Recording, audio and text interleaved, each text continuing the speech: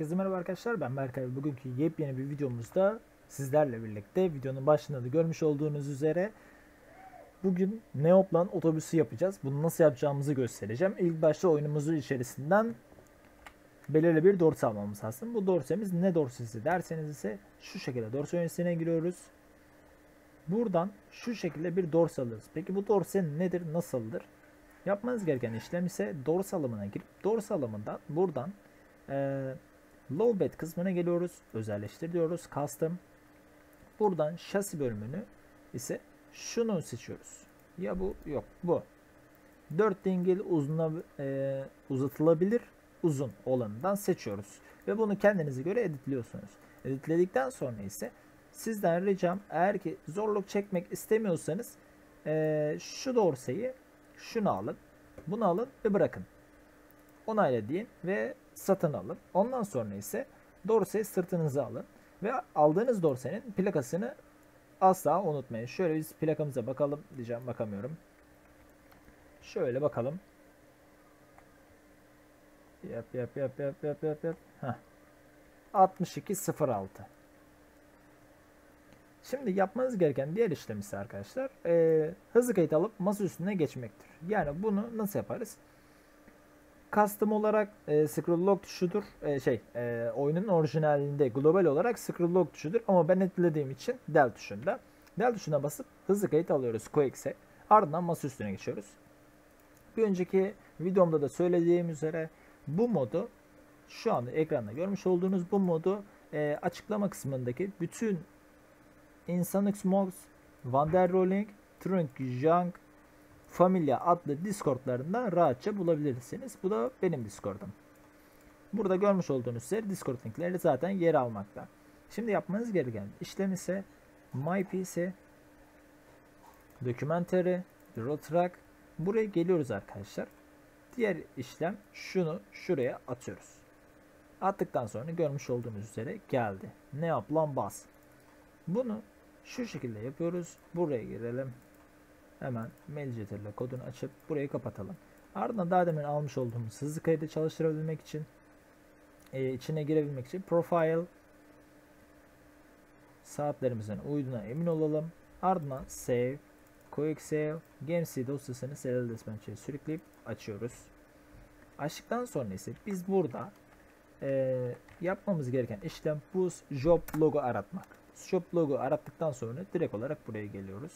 Burada ise bir önceki videoda kısaltmamıza gerek yok. Ben bunu direkt olarak size kısaltılmış olanı veriyorum. Buraya kopyalıyoruz. Yapıştırıyoruz. Eğer inbox kullanıyorsanız e, size tavsiyemdir Enterest'e geçirin. Videosu da zaten kanalda mevcut. Ama inbox kullanmaya devam ediyorsanız da Enterest yerine inbox kodunu yapıştırıyorsunuz. Buraya da yine aynı şekilde inbox'ın altına atıyorsunuz. Bunu yapıştırdık. Sıralama göre gitmesi için sayısını yazdık. Sonra burayı kopyalıyoruz. Buradaki paranteze 2 enter, 2 enter yapıştırıyoruz. Paste.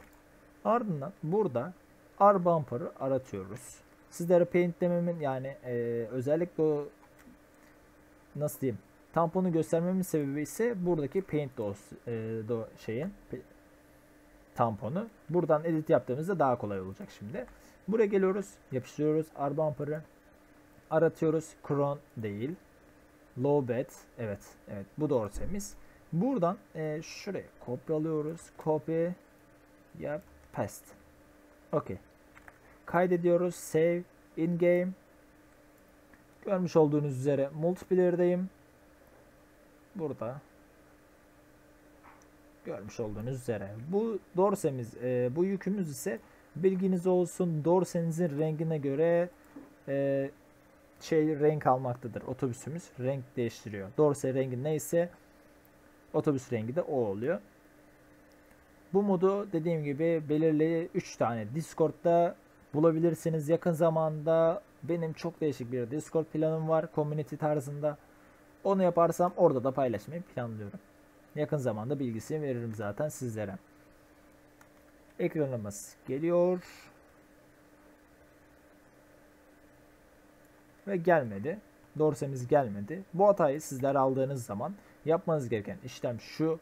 Buraya geliyorsunuz. En aşağı iniyorsunuz. Hata yoksa eğer.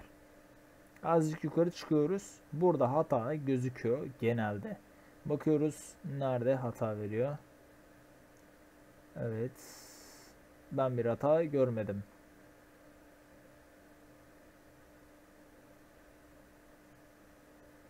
Acaba doğru doğru doğru mi attık? O da var yani şimdi. Hemen bakalım.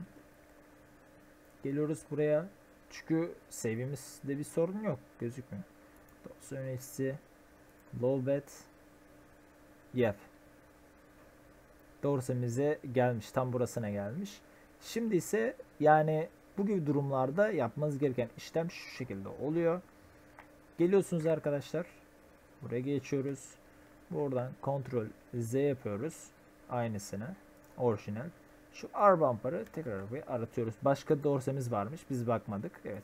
Bu dorseyi yerleştiriyoruz şimdi. Buraya yapıştırıyoruz. Burası 0. Buraya bir 1 yapalım. Kaydedelim. Oyunumuzun içerisine girip hızlı kaydımız çalışalım. Dorsemiz çalışmış. Save. Loading. Okay.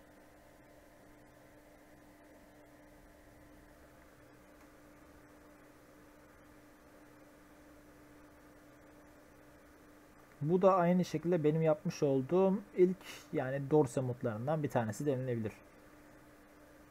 Bundan sonraki birkaç tane daha video gelecek yapmış olduğum modlarla ilgili. Dorsemiz sırtımızda. Görmüş olduğunuz üzere arkadaşlar modumuz dorsemiz geldi. Multiplayer'dayım. Herhangi bir sorun yok. Dorsemiz sırtımızda, şey e, yükümüz sırtımızda. Aracımızı çalıştıralım. Bakın montaj falan değil. Bu arada şunu da göstermek istiyorum. Eğer ki aracımızın ışığını açarsak mesela şu şekilde bakın e, aracımızın parklarını açtık. Bak parklarını açınca şuradaki ışıklar da yanıyor. Çalışıyor light'lar yani. Bakın Bakın şimdi e, göstereyim size de. Görmüş olduğunuz üzere herhangi bir şey yok. Bak. Açtım kısalar. Low. Light off. DRL. Park lambaları yani. Parking led. Low light. Highlight. Görmüş olduğunuz üzere çalışıyor arkadaşlar. Ama lakin sinyallerde öyle bir olay yok herhangi bir sinyal durumu yok. Aracımızı ben orijinalinde normalde bunu da ekleyebiliyorsunuz kodlarla ile. Ama onda yönü tam tersi oluyor ve araç yüksekte oluyor. Ben bunu bastım. Kamber Genk yapacaktım. de gereksiz olduğunu düşünerek yapmadım. Şöyle ışıklar. Aa bu da çalışıyormuş. Uuu.